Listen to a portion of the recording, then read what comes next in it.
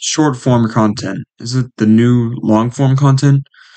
Now, obviously, short form content can't replace long form content, but it can definitely take priority as I have seen it uh, over the past couple years.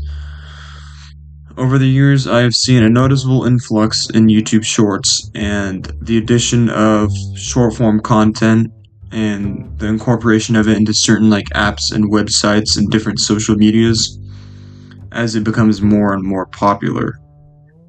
People are shifting more and more towards instant gratification, which I guess isn't necessarily bad, but that's definitely going to favor the YouTube Shorts or short form content side of things over the long form content. Um, and I personally have even been making my long form content shorter so that it's easier to make uh, neater and higher quality. Also, I can keep it more engaging by only touching on all of the important parts that everyone wants to hear, and I can keep people entertained the most. Now, obviously, I'm still working on this. I'm not the best at it. I just started. But yeah, moving on. With short form content, since people are constantly scrolling and scrolling, in my opinion, it is much, much easier to get noticed by people and get your channel some base views to kind of build from, right?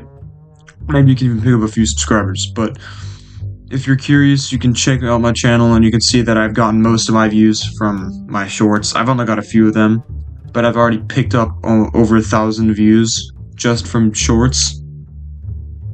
And it's it, it's definitely useful, especially since I'm kind of a newer channel. I think this is gonna I think YouTube Shorts might actually help me gain some noticeability.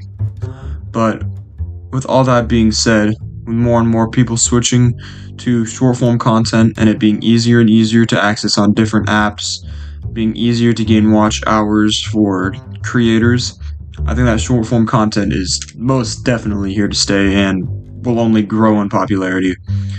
Um, Thanks for tuning in. I appreciate it. And I'll see you in the next one. Good luck.